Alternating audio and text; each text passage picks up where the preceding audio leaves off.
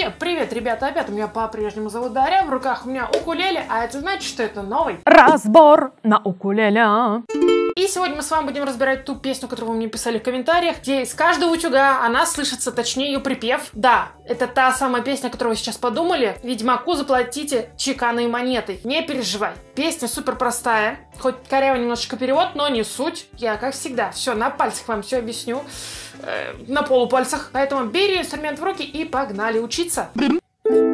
Когда скромняга Барт отдыхал отдел С Геральдом из Риви Он песню эту пел.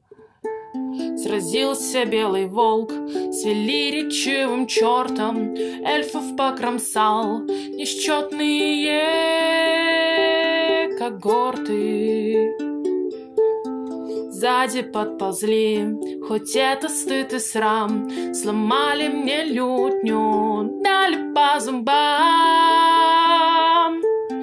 Целился ты, черт, мне рогом прямо в глаз, И тут, видимо, крикнул, вот он, смертный час.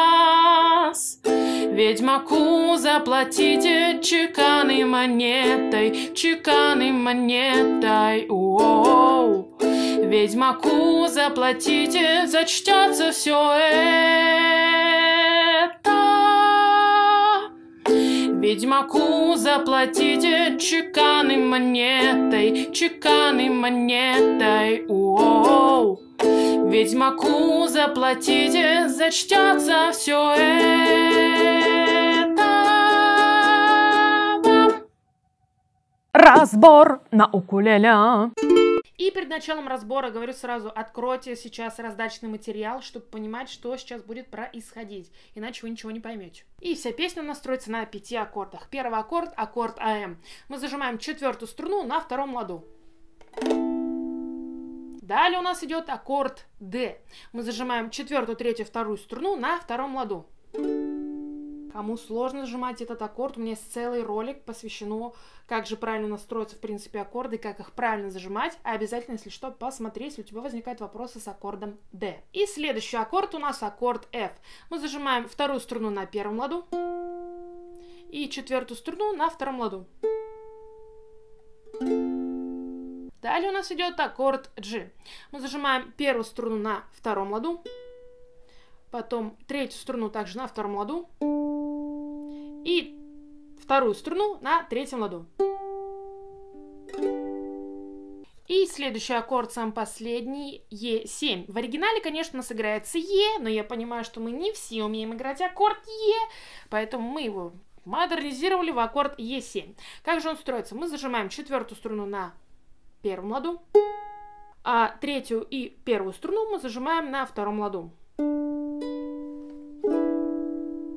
Соединим теперь эти все аккорды.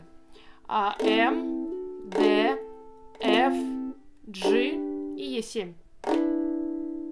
И первые четыре аккорда у нас играются в куплете. То есть А, М, Д, Ф, G. Шикарно. Теперь возникает вопрос, как же теперь мне это все играть? А, скажу сразу, первый куплет, он сложноватый. По словам, не с первого раза удастся вам сыграть первый куплет этой песни, потому что тут корявый перевод, и иногда не сочетается ритм текста и ритм песни. То есть у вас приходится какие-то слова тянуть, как это было с Геральдом из Реви. То есть там у меня один аккорд, а тут столько слов, я вообще не понимаю, как это играть. Вот, чтобы такого не произошло, откройте прям оригинал песни и играйте вместе с ним. Тогда мы сейчас все вместе это разучим. Давайте разберем. Первые две строчки куплета мы играем просто удар вниз. Ля-ля-ля-ля-ля-ля-ля-ля-ля-ля-ля-ля. То есть песню эту пел. То есть две эти строчки мы играем при помощи просто удара вниз. Ну, не просто. Можете играть как бы и удар вниз, а можете играть арпеджиат, это когда мы все струны играем подряд. То есть как будто мы играем на арфе. То есть у нас на первые две строчки что получается? Когда скромняга Барт отдыхал от дел, и вот на момент с Геральдом из Риви мы на G переходим на слово Риви. То есть, получается, с Геральдом из Риви. То есть, чуть даже раньше. Еще раз. Когда скромняга Барт отдыхал от дел с Геральдом из Риви, он песню эту пел. То есть на Д мы переходим на слово эту. Еще раз, вот именно только вторую эту строчку. То есть с Геральдом из Риви он песню эту пел. То есть вот, вот этот вот момент. Сложность в этом-то и состоит. Дальше мы начинаем играть уже переборчик. Переборчик а-ля арпеджио. Мы играем 4, 3, 2, 1. На каждый аккорд мы играем его два раза. То есть ля-ля-ля-ля, пум-пум-пум-пум, на-на-на-на, тру-ту-ту-ту, тру-ту-ту-ту. Понятно, да? Ну, давайте теперь это все соединим. А, Последние, получается, третья, четвертая строчка. Сразился белый волк с велиричевым чертом. Слово велиричевый, капец какой-то. Первый раз вижу такое. Да, еще раз. И.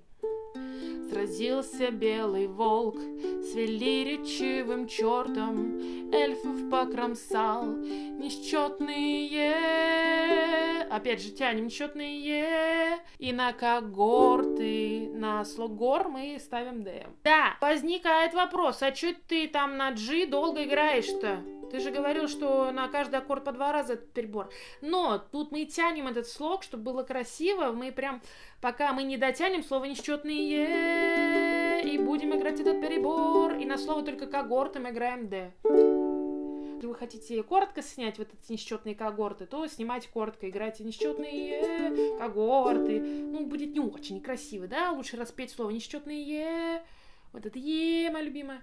Соединим это все вместе и Сразился белый волк с велиричевым чертом, эльфов покромсал несчетные. Тянем, тянем, тянем, а-ля-ля-ля-ля-ля-ля-ля, когорты. Разбор на укулеле. И уже последние вот эти четыре строчки куплета мы играем тупо на каждый аккорд по два раза этот перебор. Ну, то есть там уже все очень просто, все очень понятно, да? Это все с этим понятно. Что касается припева. А, припев мы играем так же, как и первые две строчки куплета, то есть просто удар вниз, то есть Ведьмаку заплатите. Стой, погоди, я совсем забыла сказать, что есть еще один аккорд в припеве, это аккорд С. Мы просто зажимаем первую струну на третьем ладу. Трунь. Чеканы монетой. Тут на самом деле все очень просто в плане того, что на каждое слово получается у нас каждый аккорд. То есть аккорд у нас А, Е7, С, Д. Еще раз. А, Е7, С, Д. И получается Ведьмаку заплатите чеканной монетой, чеканной монетой. У-у-у. Да, вы можете на у сделать два раза, у или можете просто один раз сделать у Кому как удобно, так и войте, в чем проблема? И теперь еще раз две эти строчки припева. Ведьмаку заплатите чеканной монетой, чеканной монетой. И потом опять у нас повторяется по аккордам то же самое, по мелодии то же самое, но слова там чуть-чуть изменяются. То есть ля-ля-ля. Ведьмаку заплатите, зачтется все это И опять там дальше. Ведьмаку заплатите чеканной монетой, чеканной монетой. Ведьмаку заплатите, зачтется все это вам. Вот все. Вот и все на сегодня. Если тебе понравился этот разбор, то можешь поставить свой лайк, подписаться на канал, нам с Пепой будет очень сильно приятно. Также смотри предыдущие мои разборы, у меня их полно на канале, а еще есть теория для укулеле, так вообще бум-бум бабац. Ну а также не забывай писать в комментариях, какую же следующую мне песню разобрать. А меня по-прежнему зовут Дарья. Скоро увидимся. Пока. Ведьмаку заплатите чеканной монетой, чеканной монетой. Уоу. Ведьмаку заплатите, зачтется все это.